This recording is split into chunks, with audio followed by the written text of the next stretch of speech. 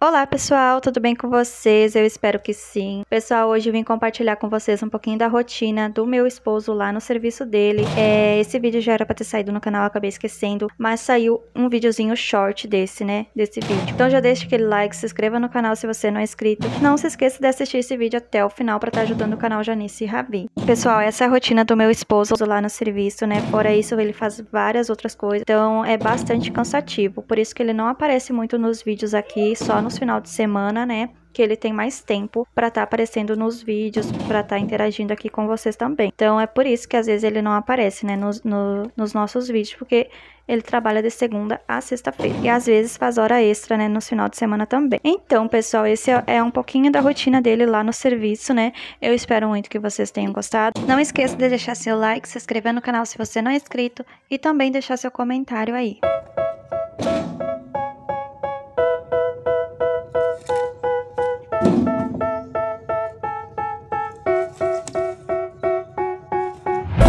Me that I'm never gonna make it. They want me to do something that could make sense. They hate when I keep dreaming I'll be famous. But I don't give a fuck, I'ma keep chasing.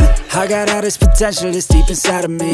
But they hate when you're successful cause they try to be. They sit there being judgmental because you're trying things. And they just want you to settle and do the right thing So get a good job, don't slack off. Wake up every morning, make a good impression on your boss. Don't do anything that I wouldn't do. And when you're making money, make sure you don't spend it too soon. Fuck that, I'll do what I wanna do. I got a different path from everyone and that includes you. Who are you to tell me how to live life? In these times it feels like nobody's right